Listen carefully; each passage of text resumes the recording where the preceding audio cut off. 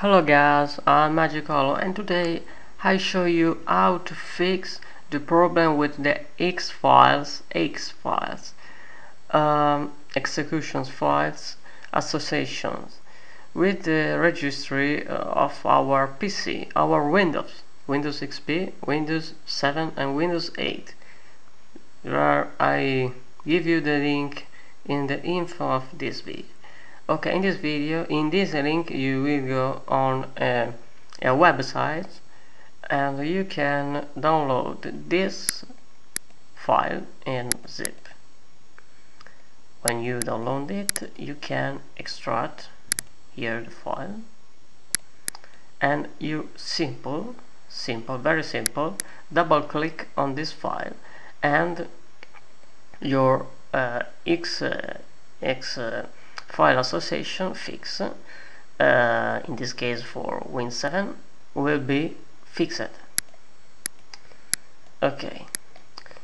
Uh, in alternative of uh, this you must go on editor uh, registry of system and you will uh, you will see that uh, the X file association are changed the possible is for a virus a virus with a, you must find the X file. Uh, okay X. This is the the default X application. Double click on this and you will see that uh, it's not this but you can uh, do uh, not this uh, solution but uh, only use this. Okay? If uh, it not uh, work this file you must um, do um, with your antivirus a checkup.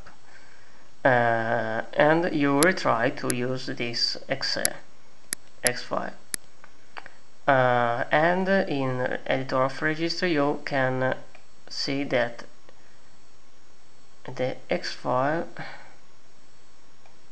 wait a minute.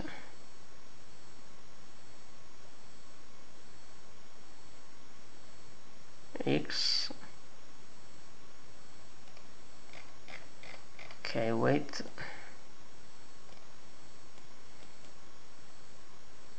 Okay S files this is the default